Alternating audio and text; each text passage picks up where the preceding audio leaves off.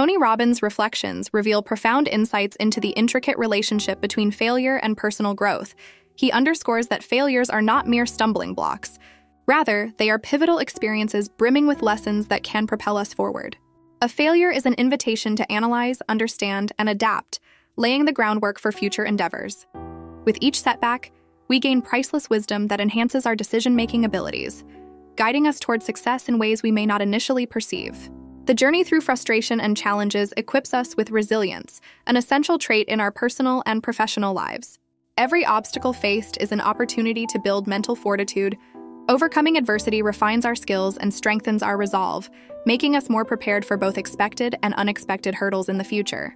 This innate resilience becomes an invaluable asset, allowing us to navigate life's currents with grace and tenacity, ultimately leading to sustained success. Moreover, Robbins emphasizes that the trials of our past serve as a solid foundation for future achievements. What may seem like missteps or detours at first glance are, in reality, the crucial experiences that prepare us for greater responsibilities. They furnish us with the tools needed to seize opportunities in more formidable landscapes, transforming challenges into stepping stones rather than barriers. Each difficulty faced becomes a badge of honor, affirming our capability to progress and adapt. Transforming our perspective on failure requires a deliberate shift in mindset. Robbins encourages us to view our past mistakes as valuable stepping stones toward growth, rather than weights that anchor us down.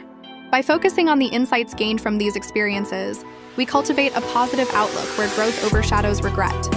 This reframing can significantly enhance our quality of life enabling a fuller and richer existence characterized by optimism and forward thinking.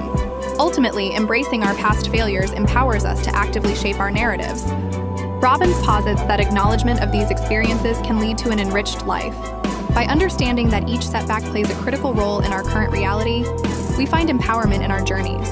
The past no longer haunts us, but instead serves as the very fabric of our personal development, cultivating gratitude and resilience as we forge ahead.